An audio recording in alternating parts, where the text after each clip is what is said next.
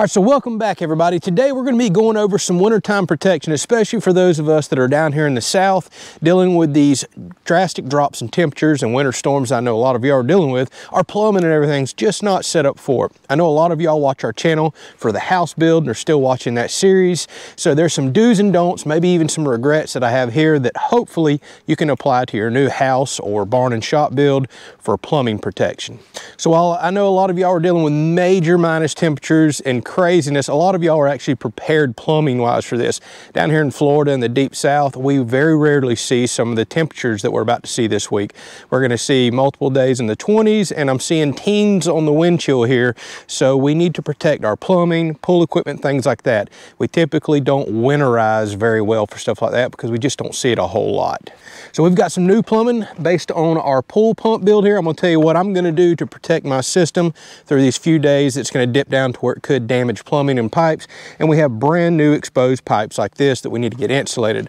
Plus I have some pipe protection that y'all recommended last year that I have never even seen down here or ran before uh, to protect our critical pipes just outside the house where our water filtration system and all is. You may wanna stay tuned for that right there. That can really help you out.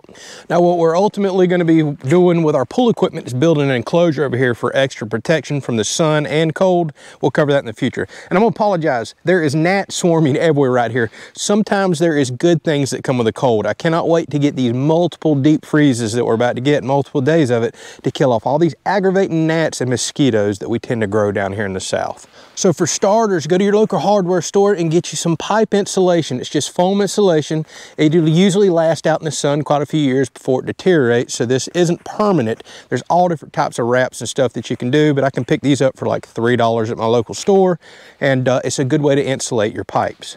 There's also different types of spigots that you can put on. If you're in an area that freezes a lot, they have frost-proof spigots that'll actually open and close themselves and dump if it gets too cold. You can drip your faucets like we do, or I'm gonna show you a little bit later out by the building. I put in special just above ground tees to where I can actually drain the system down on my non-critical plumbing. So when it comes to this pipe insulation, you can get it to where it'll seal back on itself. Having a hard time finding that. Or this right here that you can just split open with your fingers. And the reason you want to tear the slit open is on already installed plumbing. If you're putting brand new plumbing in, you don't even have to tear this in. You can slide it on and then glue your fittings on. Now keep in mind, all this that I'm showing you is for southern states. We have no frost line here. We're not worried about protecting beneath the ground. It just does not happen down here in Florida. I've never seen the ground actually completely freeze.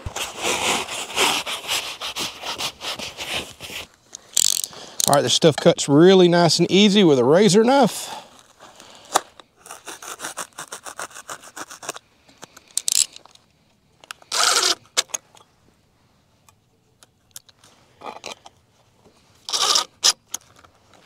So when it comes to our pool equipment, a lot of you are gonna winterize, especially if you're up north, where you're gonna completely drain the pool, drain your equipment, and just put it up for winter, maybe cover your pool over. Well, because we see such few freezing temperature days down here in the south, I'll leave mine running year round. Actually, our dogs still enjoy swimming in it, even this time of year, so we just leave it going.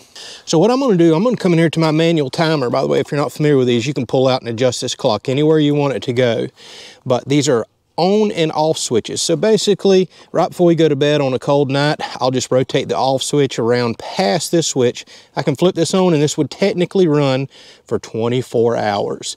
So long story short, because our pool water is 50 some odd degrees right now, I expect it to dip in the 40s with this freeze that we're gonna have, but it's not actually gonna get cold enough. That's a huge amount of water to try to get below freezing.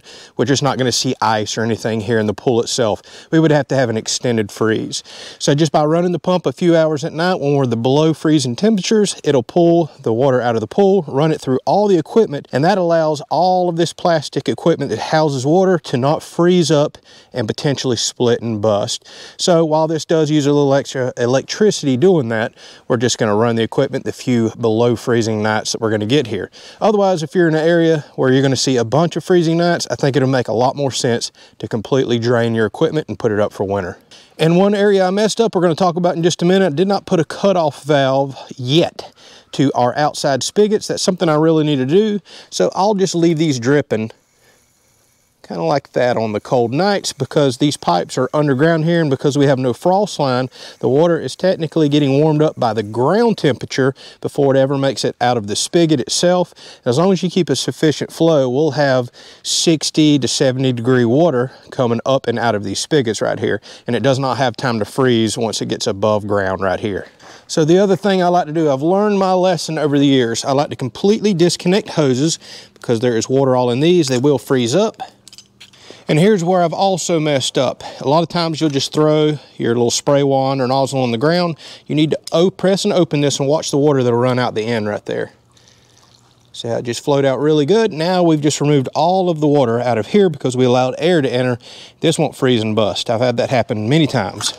I've also learned my lesson recently with things like ice makers because we have an ice maker outside. When we start getting below freezing, the ice maker itself will malfunction.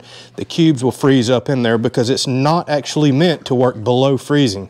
And then things like our outdoor sink, I'll run a small space heater underneath where the plumbing is to protect that overnight.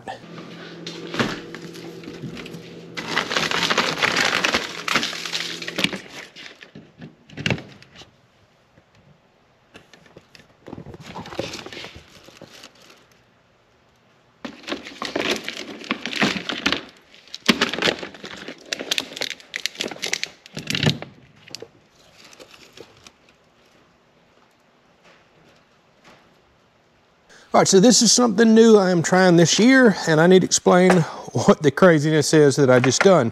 This is called heat tape right here, or a heat strip.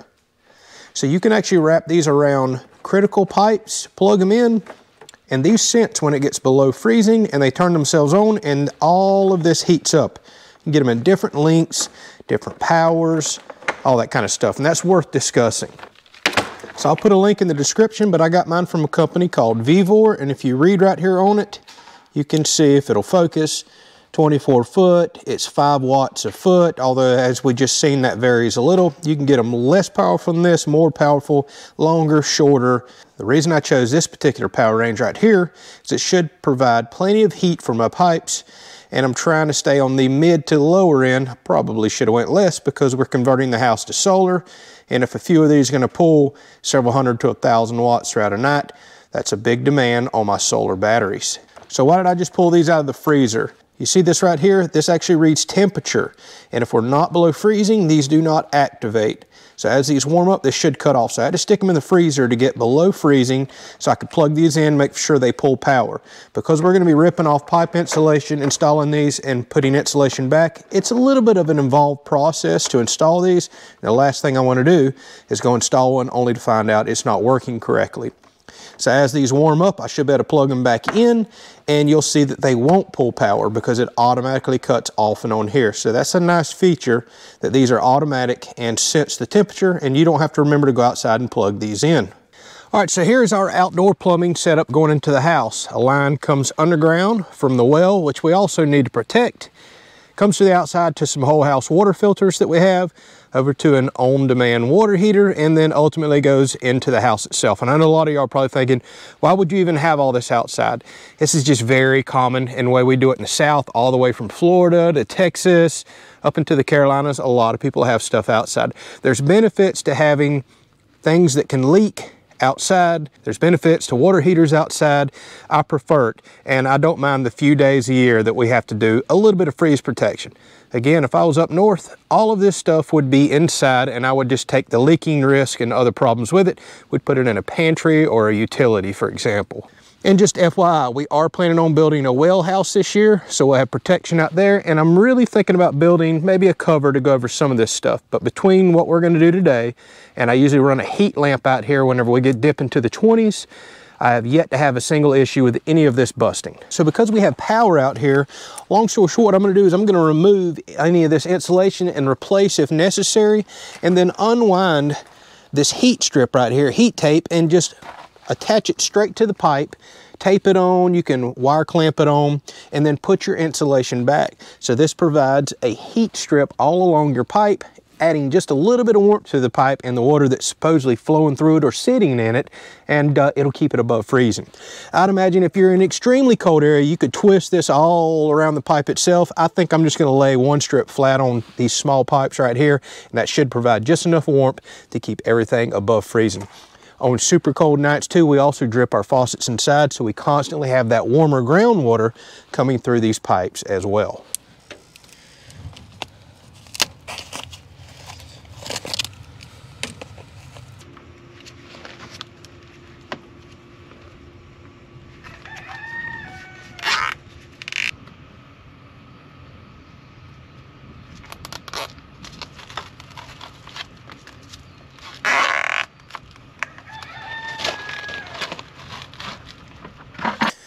That was relatively straightforward.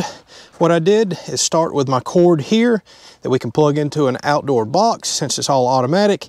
And I ran the uh, heat tape, started going underneath all of the insulation here, fed it all the way around, back up over and underneath the water heater, back down this pipe to the ground, back up here, and then I had some excess, so I decided to just loop it around the tops of my water filters. That should just provide a little extra heat there, but all of the heat strip tape's actually underneath the insulation everywhere else. So this should give me really good protection.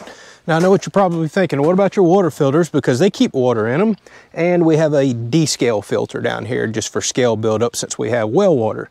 Well, all I'll do is just take one of these large, you know, chicken coop lights right here 250 watts, honestly, incandescent light bulbs, smaller heat lamps, they work really well for doing this. Just about every house you drive by in the south at nighttime when we're getting freezing temperatures, you'll see these little red lights running everywhere. So I just drive a piece of rebar in. I'll put this right here for this general area, plug it in, and uh, zip tie it on. I'm not going to do this until right before the freeze because we're supposed to get rain tomorrow. You would be amazed at how big of an area a heat lamp like this will cover. It will keep the temperature here well above freezing. You can come out and touch stuff at night and while it's not hot and melting, you're, you're just well above freezing. So I'll aim one of these toward these three filters and this area stays protected. All right, those of you that are building a new house, I mentioned where I messed up and shame on me for not thinking about this. So our main feed comes from our well over there underground and then it tees off to go to the outdoor spigots over there into the pool tees off here and goes around the house to some more plumbing that we have some outdoor spigots. And I did not put in a cutoff valve going either direction. I do have one right here at the house I should have put two cutoff valves in going either direction so when we get deep freezes like this, we can leave water just going to the house and uh, well, we could drain those. You could put a T and a drain down there. I'm gonna show you where I've done this on other sides of the property. So if you're building a new house and gonna have outdoor plumbing and spigots, I would suggest going ahead, actually probably the best thing to do, run one line from the well to the house, put cutoff valves over there like I have, and then run a completely separate line to all your outdoor spigots. So you can see I've already technically kind of done that here. I should have just ran a third line. So coming out of the uh, tank itself, there's a main cutoff valve. We want to kill all of the plumbing. There is this cutoff valve that goes to the shop, the barn, and I have outdoor faucets everywhere. So the good news is I did think ahead far enough to put a cutoff and right down here, I have a T with a threaded insert and a drain. So I can kill the water to all this stuff out here. I don't have to really worry about protecting it. Take this plug out, go open up all those spigots so they'll suck air in. And because this is uphill every direction, all the water will flow down here and flow out on the ground. And I can leave this closed through these cold spells. And we'll just leave this open going to the house. So always put as many cutoff valves in as you can think and for sure just try to run the house on its own independent line. That way when you go through these spells well you're only worried about the house. Everything else is drained and you don't have to go through all these problems. Now yes i know a lot of y'all up north are looking at some of this stuff going this is not how we do it up there. Honestly we don't really know how you do it up there. Every new construction home around here is built like this. Exposed wells outdoor faucets everywhere. We just don't really deal with this enough that i guess the extra protection has made it down here into our build standards. So uh, I would be very curious what all y'all do run up there. I know y'all have frost lines and other stuff to worry with. We don't have none of that here, have never experienced that here. So there's some things that y'all do that would just be extra cost and time and not necessary here.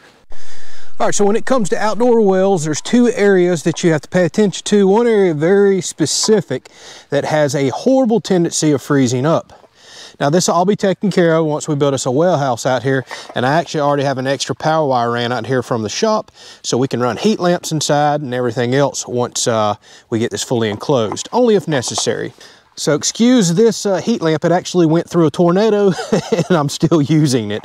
So we'll actually just clamp that on here. This is one area that you really have to watch. All this metal pipe I have found in the past, metal will freeze and split quicker than PVC will, believe it or not. It's just because it gets so cold.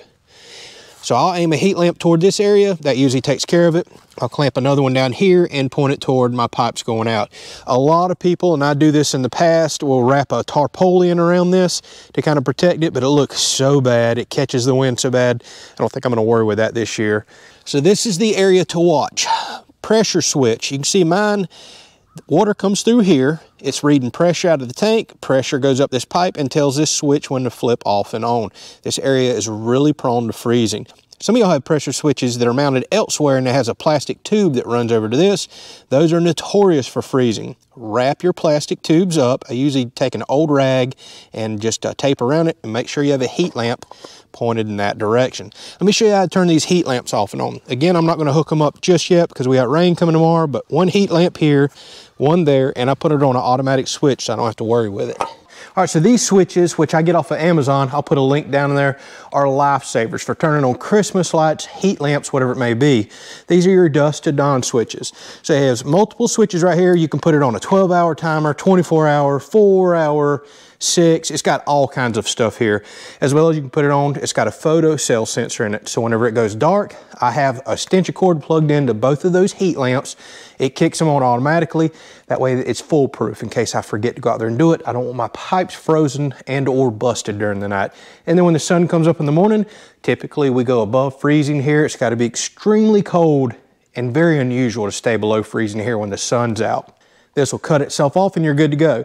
Now, if you're dealing with freezing temperatures all day long where you live, you know, I know some of y'all in Texas are dealing with that right now, just turn this to always on, allow heat lamps and things to run 24 seven. Ultimately, covering everything up, getting it out of the elements is our ultimate goal here and where we want to go. I'm mainly speaking to everybody in the South here where we're a bit unprepared for when cold snaps like this come. All right, new homeowners and everybody else that I'm speaking to, there is other things that you need to be prepared for. Should you live in an area like, let's just say Texas, for example, this is now y'all's like second record cold snap. Y'all are starting to experience enough of these every few years. Y'all probably should start preparing more like, well, northerners do. Things people may not think of. Do you have water-filled tractor tires? You probably need to go convert those over to something that will not freeze your vehicles? What about all your coolant tanks for your windshield wiper fluids? Well, those will split and bust. I've had it happen here. We always start running zero degree washer fluid, usually around September, October is the earliest we can find it here in the South. Even my tractor over there has a washer fluid reservoir. Don't forget about those types of things. They will freeze and they will bust on you. So make sure you've got all that converted over. Are you like me? I have a trash pump out here. This is my little firefighting rig. And if you leave water in the pump itself, you'll split and bust the casing of that pump. That's a critical piece of equipment for me. I just had it out yesterday for a fire that was burning beside us. So make sure you drain water out of stuff like that. All right, I told y'all we're gonna drain all the plumbing out here because it's not critical, but there's still things like water filters right here that will hold water and I need to unscrew this, dump it out, or this will split as well. I also go ahead and disconnect all hoses, outside faucets like this has water all the way up to the cutoff valve. This will split and bust, but once I disconnect the hose that's feeding it, you open this up, air will suck in, the water runs out, and you don't wind up splitting and busting things like this. I know some of this is common sense to a lot of y'all, but I'm talking to people that are new to homes, new to buildings, new to property, not thinking about this stuff. I have damaged enough stuff over the years that, well, you learn by your mistakes, correct? While we're not getting cold enough here, I'm gonna put a heat lamp in for our chickens. We are gonna stick extra straw and stuff up in the boxes if they wanna get up there and warm up. Heat lamps is controversial for chickens. Now, if y'all are up there dealing with minus temperatures and all, for sure, take care of your animals. We're not getting that cold here. Boats, y'all, make sure you tilt your motors down, because water will remain in the lower foot of a boat. And I have heard many times of people splitting lower units on boats. That's something else a lot of people don't think of. This particular boat does not hold water in the lower unit, but we have one inside the shop that can, but it does not get below freezing in the shop. Speaking of animals, we got a heating blanket out in Ruger's kennel and a bed. Actually, he loves the cold weather. He usually kicks the heating blanket out of his uh, doghouse because, well, he gets excited about the cold and he cannot stand getting warm. Now, yes, if we were gonna see some of these negative, crazy temperatures y'all were seeing, well, the dog would just come inside. We're gonna take care of our animals, but Labs love cold. He literally will go swimming again this afternoon and tomorrow and probably the day that we literally have teens on the wind chill, I guarantee you he'll be in the pool swimming. Something else that's often forgotten about, if you have rain gauges out here like I do, I don't need it because I got a weather station, but I just keep rain gauges as well. Dump those, these will split and bust on you. Your animal's water, your chicken water, I know ours is gonna freeze up, but being we're only gonna be dealing with this a couple of days, we're gonna come out, freshen up the water every day, and I'm usually up by daylight doing that anyways. Lastly, delicate plants like those that we have down here in the south, citruses, we have boxes full of what's called frost blankets that will drape over this. We use clothespins to actually pinch and hold them to stuff like this so they don't blow off. You can wrap them around and clothespin the cloth back on itself, but we do not put frost blankets out until after the last rain. Again, it's gonna rain tomorrow. A frost blanket will get damp, it'll hold that moisture, and then when it freezes immediately after that, you have literally ice laying on the plant and it will kill them even through the frost blankets. To all of my people that's watching and you're into solar, thinking about getting into solar or already into it, but you're not thinking about your batteries. Lithium batteries, most are not designed to be recharged, especially rapid recharge, below freezing, below 32 degrees protect your investment, your battery. So my shop over there, what I'll do is just disconnect the solar from my off-grid shop there so the battery doesn't charge until after daylight and the temperature's up. Or I could run a small space heater in there around my equipment. Same thing over here with my large on-the-wall system. These batteries, well, we're probably not gonna get below freezing in the shop, although it could happen. We're just gonna have to watch these temperatures. I'll just disconnect solar, make sure these do not charge. What I am gonna continue to run the shop on, and I'm still testing, is my new EcoFlow unit. And one thing I forgot to mention in my review, this actually has a heated battery in it. This can operate down to minus four degrees. So it senses whenever it gets below freezing, it'll use some of its power, heat the battery itself up to protect it and keep it above freezing and it can charge and work as normal. So I've already got the shop running on this right now, and I'm just gonna continue to run this through the cold spell. I know I'm vomiting a lot of information on y'all, but well, these things are interesting to me, hopefully to you as well. Now that we're still on solar subject, y'all keep in mind when you see extreme temperatures like this, solar panels themselves will actually do a spike an increase in voltage on very cold days like this. I've witnessed it many times with my own system. Typically, you take a factor of 1.25, a cold factor as they call it, for the output of your panel, that it could potentially go over its rated capacity by 0.25. So you use that number whenever you're building out your system to know that on extremely cold days or when you get weird cloud effect patterns and things like that, your panel that's say rated for 100 watts could potentially do up to 125 watts. And I can tell you from experience, this 2400 watt array, I have seen at times do 26, 2800 or more watts. Your voltage, your wattage, which all correlates with each other, will spike up. This is very important too because you could potentially go over voltage for your expensive solar equipment and damage it through cold spells like this. Keep that in mind. A lot of y'all watch the channel for solar always underrate your system. Most people say over panel, over watt. Just make for sure your amperage and voltage is nice and safe. And in the event of really cold spells or odd cloud cover, know that you can go over rated capacity. You need to be prepared for that. I hope you've made it this far in the video. Something else that is critical that we need to talk about. This is the preparedness in me. And you need to be this way. Anytime I do a plumbing project, electrical project, anything on the property, and I'm going buying plumbing pipe and a little fittings and glue and everything else, always buy extra. Keep you some totes or some buckets full of that stuff. Think about this. A lot of y'all about to experience record cold. You didn't do some of these preparations. You're already in it right now. You're going to come out the other side of this with busted plumbing, stuff spraying everywhere, killing the water to your house, no plumbing, no sanitary good conditions, can't take showers. And what are you gonna do? You're gonna rush to your local Lowe's, Home Depot, and Ace, along with everybody else who was not prepared. And guess what? The glue is gonna be sold out. All the fittings, the pipe, everything you need to make your repairs. Good luck calling the plumber. He's getting so many calls, he doesn't have time to come out to you as well. And when he does, it's gonna be so expensive. This is what I always do right here in order to be prepared. Plumbing, well, water is key to so much of our convenient lifestyle. I always am prepared for it. One of the most often overlooked things, glue. I have multiple cans of sealed PVC glue in here along with thread, compound, and everything else. When you open up a can of PVC glue, it usually will only last a couple weeks before air has entered the can, it hardens up and it is no good.